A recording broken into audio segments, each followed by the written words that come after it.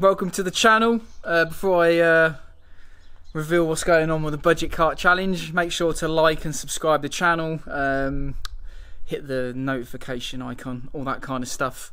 We, we want to build the channel this year, so all of that kind of stuff helps immensely. Also, um, if you want to become a patron, please check the link below. Uh, without the help on there, none of this really would be possible. So get cracking, get on there, and uh, give us a helping hand. Say, what's going on? What's going on? Well, it's safe to say the last sort of 16 months have not been particularly good. Uh, I've had a few people ask me about the budget kart challenge and what's happening because obviously it didn't happen last year. But this summer we're back. It's going to be bigger and better. Um, I can't reveal too much at the moment, but it's um, it's not going to be a lone venture, and uh, I can't wait to see to see how it all unfolds.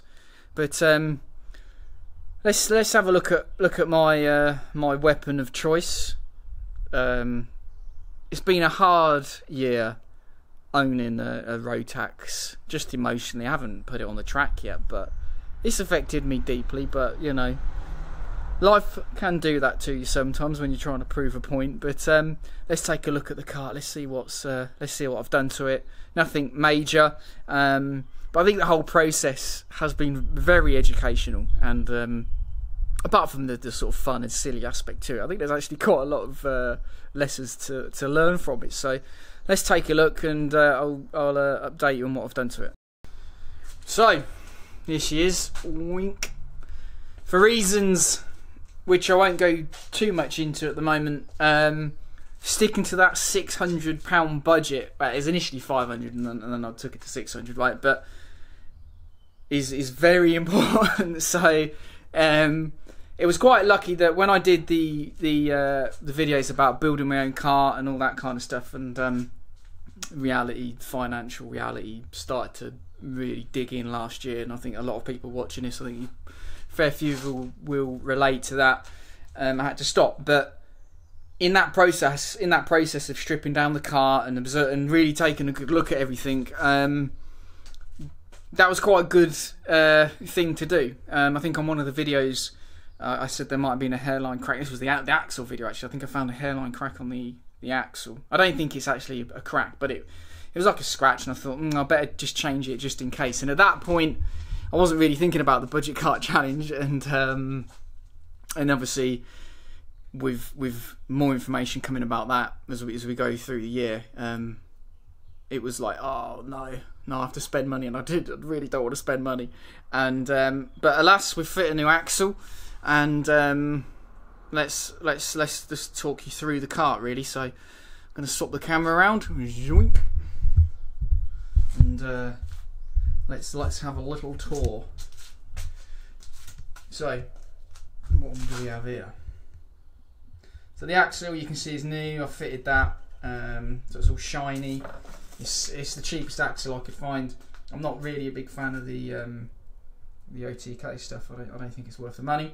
Um, so that was like 40 quid. Um, and, and, and, when I bought the car, I bought it for 600 pounds.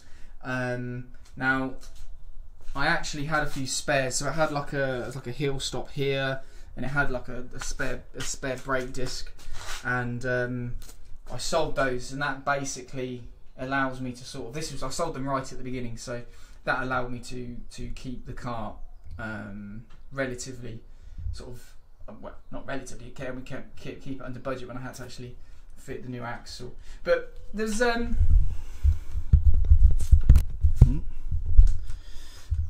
so so interestingly, um, sort of whole this process of of the budget car, I actually have found myself really I do not envy at all someone trying to get into kart racing now. Um, I, I berate the governing bodies quite a lot, and I know, and, and I actually think the manufacturers are part of it as well. They have done a horrific job, in my view, of sort of trying to understand kart racing from a, from a newcomer's perspective. So, for example, like for you and me, it was like if the rule came in, it said drop down bumpers, right? So this is uh, I'm doing this. I'm doing an IKR race, so it's it's, it's not a, an issue. They don't require it. But that that there, like just that trying to put a trying to buy a cart and then finding out a little regulation regulation like that, it's like it's another it's another bit of money down the drain, you know. And obviously the video I did about the Nassau panel, and little things like you know. If, if you've got a car and you've bought a car but it didn't come with a battery, you know, a battery mount, let's say you know, this here, this, you know, and then you've got this. That's like 30, 40 quid, whatever it is. And it's just like, people have no idea that, like, kart racing is supposed to be for the ordinary pers- person, you know, and the 30 quid is like, if you had a decent job, right, £10 an hour is, is a reasonable job, it's above minimum wage. That's three hours' work. That is three hours of your life to pay for a little bit of plastic, a little bit of metal, you know. And, and I find that kind of thing when you go through a car and you view it through the lens of the budget, the budget car challenge. Those sort of little little things you think, wow, you get blinded by by sort of being involved in the sport. But oh, Christ, I would not want to be a newcomer now. Um, what else have we done? Not much. Um, you know, like this. You know, chain protector to be fully enclosed now, and that's been around for a while. But again, that's another little thing. You're like, oh, blimey, another little bit of money to have to spend. Um, but positively, we have got the cart. We have got it under budget, and that's really important for the for the summer for me. Next stage really is I have to sort of get back into some sort of physical shape. So I've been training, kind of, um, just so I don't puke up after three laps. So um, I hope you can all follow follow the story as it unfolds. Um, again, there's there's there's more to this. Like I said, it's it's no longer a a lone wolf exercise, and and I really want to prove to people that despite me complaining about you know maybe little bits and bobs you have to spend, you can still do it. You can still get into karting on a budget. I mean, I mean, look. At the end of the day, I'm not. It's a bit, a bit uh, overexposed. I'll try and come over here. So you can get this whole, this whole cart I got for for six hundred quid. Now, I know some people have messaged me and says, you know, how do I get a cart for that amount of money? It seems like a bit, a bit too difficult. Um, and I can understand that. I, I sort of know what to look for and that kind of stuff. But in the last few months, I have been sort of scouring eBay. I've been looking at uh, Facebook and that kind of thing. And um, there are deals out there. You just, particularly like chassis. I find um, if they're older than maybe if they're ten years old, perfectly usable. You can get them for like three hundred quid. Um, I think again the problem the problem that we have in karting is this this this drip drip of regulation.